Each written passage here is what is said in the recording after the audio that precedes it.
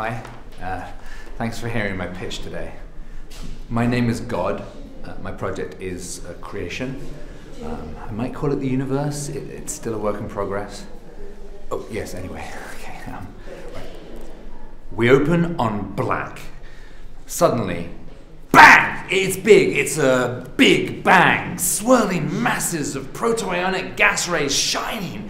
You've never seen anything like this before. In fact, You've never seen anything before. This is when we first let there be light.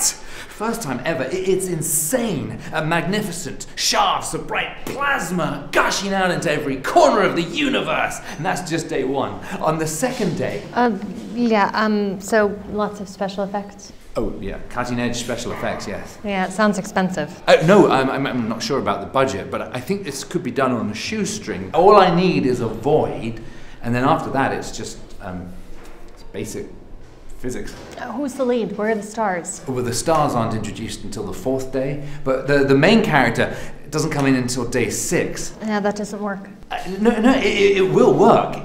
It's going to be a pass.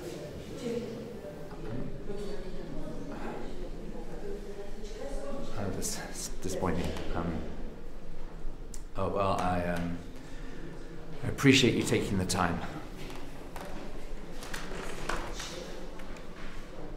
Which, incidentally, is another one of my ideas.